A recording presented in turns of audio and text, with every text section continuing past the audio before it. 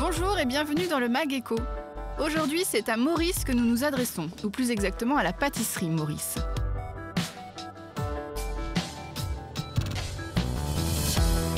Après avoir travaillé pour les plus grands pâtissiers du monde en France et à l'étranger, c'est à Chaland que le Vendéen Julien de Souza, pâtissier de métier, s'installe en s'associant avec son ami d'enfance Emmanuel Jaunâtre.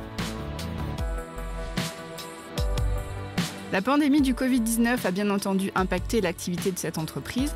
Le confinement imposé par le gouvernement a forcé la population à rester chez soi. Alors comment cette entreprise a-t-elle vécu cette période et comment va Maurice aujourd'hui? C'est ce que nous allons voir tout de suite avec Julien de Souza, son co-dirigeant. Julien de Souza, bonjour. Bonjour. Alors, on est ravis de prendre de vos nouvelles. On était venu vous voir euh, à la fabrique euh, Route de Soulan, dans votre entreprise, dans votre pâtisserie. Euh, et puis, bah, dans le, nouveau concept du Mageco, on voulait prendre des nouvelles des entreprises qu'on a visitées. Donc, dans votre cas, comment ça s'est passé cette annonce du confinement en mars chez Maurice? Bah, c'était forcément une grosse surprise. Hein. Ça a été un peu un choc pour nous. Euh, bon, on savait que ça allait nous tomber dessus, mais on, voilà, on savait pas euh, quelles allaient être les conséquences, comment les gens allaient réagir, etc. Et puis, eh ben, on a, on a au jour le jour, on a avancé, on a, on, a, on a continué un petit peu notre activité, mais ça a été un peu un peu dur. Il hein. faut pas se le cacher, ça a été un peu dur. Alors pour rappel, donc vous avez donc euh, deux, deux entités, hein, donc la fabrique et route de Soulan, et puis une pâtisserie qui fait aussi salon de thé hein, dans le centre-ville de Chaland. C'est ça, exactement. en, tout, vous avez combien d'employés? Vous êtes combien? En tout, nous sommes 8. Nous sommes 5 euh, salariés et 3 apprentis. Ok.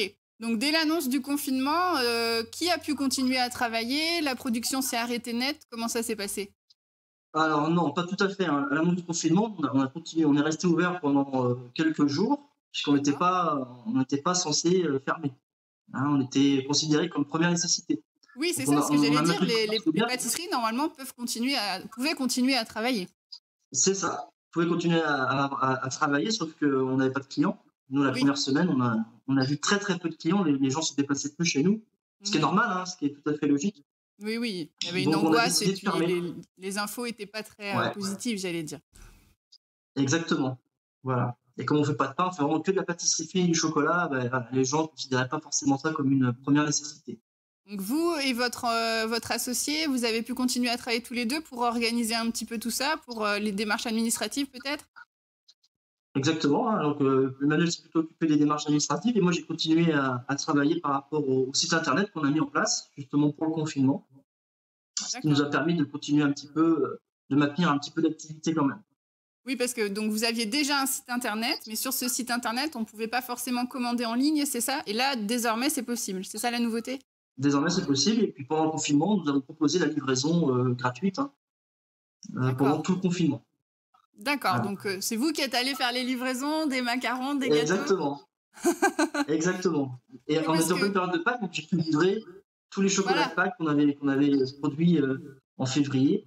Donc c'était plutôt sympa d'aller au contact des clients. Ça ça m'a changé un peu de ma routine habituelle du laboratoire.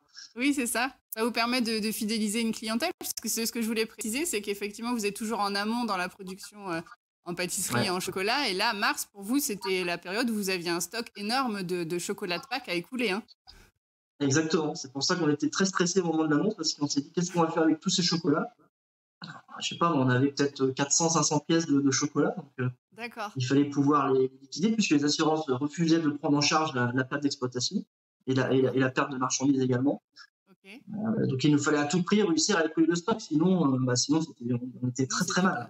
La perte sèche. Quoi. Et comment ça s'est passé? Alors est-ce que finalement les, commandes en ligne euh, et le fait que vous alliez livrer a permis d'écouler tout ce stock? Ça s'est écoulé facilement? Ouais.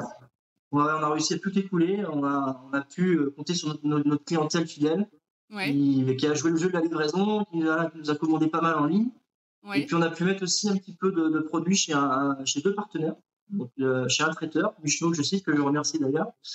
Et la boulangerie Chevrier aussi, qui est à, 200 mètres de chez nous, qui s'est proposé de, mettre un petit rayon de chocolat chez eux pour la vente. Donc c'était plutôt très sympa d'avoir, ouais, c'était super sympa d'avoir un peu d'entraide entre commerçants. Ouais, il y avait une belle solidarité entre, entre professionnels, ça, c'est chouette. Donc ça, c'était pour Pâques, c'était bon. Et alors, une fois que la période de Pâques euh, est passée, comment, euh, comment s'est ressentie l'activité? Parce que du coup, à cette période-là, vous aviez plus d'employés en activité à ce moment-là. Ils étaient tous en chômage partiel? Exactement. Monde était au chômage partiel. Donc, nous, on a continué à, travailler par Internet, mais plus de chocolat. On, livrait uniquement des, gâteaux, des macarons, euh, des fours secs, etc. Et puis, on a quand même ouvert le magasin. On ouvrait quand même le magasin les fins de semaine, le vendredi, samedi, dimanche. Mm-hmm. Voilà. Là, avec quand même de l'activité sur les week-ends, avec quand même une clientèle qui passait relativement. Un petit peu, un petit peu, quand même forte, fortement baisse quand même. Ok. Et alors, ça a repris comment après? Avec la fête des mères, peut-être? Alors, fête des mères, c'était le premier événement d'après confinement, enfin de déconfinement. Donc là, on a fait une très très belle fête des mères. Vraiment, ah. euh, un très très gros week-end. Je pense qu'on a, on a mieux travaillé cette année à la fête des mères que l'année dernière. C'est vrai? Oui, les gens étaient peut-être davantage. Euh, c'était peut-être l'événement à fêter après le confinement. Où de nouveau, on retournait voir ses proches et notamment sa maman. On avait envie de faire un petit plaisir, peut-être. C'est ça, c'est exactement ça. on, a, vu, on a vécu la même chose avec la fête des pères, qui est, habituellement plutôt assez calme.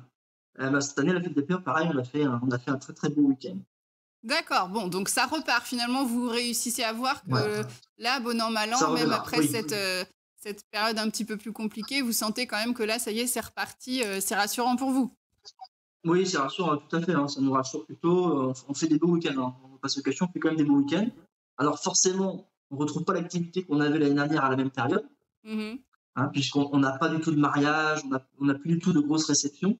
Oui, toute la partie événementielle, et du coup, euh, voilà, ça se rattrape difficilement, mais peut-être que ça va se rattraper fin d'année, puisque je sais qu'il y a beaucoup de mariages qui vont se décaler dans l'hiver, c'est ça? Exactement, c'est ça. On a beaucoup de, de, mariages qui ont été décalés pour septembre, octobre, euh, d'autres à l'année prochaine. Ouais. Donc ça, ça, on verra en fin d'année si, si, on va réussir à équilibrer euh, éventuellement sur toute l'année. Donc finalement, le, le, bilan pour vous est Bon, c'est toujours, il y a toujours un petit peu de pertes, mais finalement, vous en sortez bien. Votre entreprise n'est pas mise en péril. Tout va bien pour euh, Maurice. Non, non, non, non, non, tout va bien chez Maurice. On va s'en sortir. mais grâce encore, hein, grâce aux clients et, aux fidèles hein, qui nous suivent toujours, et on, va y arriver. Ça va, ça va. Bah, le, petit coup dur qu'on a eu, un petit coup de stress, euh, on, y, on, y laisse, on y perd forcément un petit peu de plume, mais ça va aller quand même. Ça repart bien, c'est plutôt rassurant. Bon, bah, très bien. Merci beaucoup, Julien. Je, rajoute, je, précise euh, l'adresse de votre site internet, donc puisqu'on peut commander en ligne, euh, www.maurice-pâtisserie.com. Merci beaucoup, Julien. À bientôt. Merci, Katel. À bientôt. Merci. Au revoir. Merci beaucoup à vous. Je vous souhaite une très bonne journée sur TV Vendée et je vous dis à la semaine prochaine pour un prochain Magéto.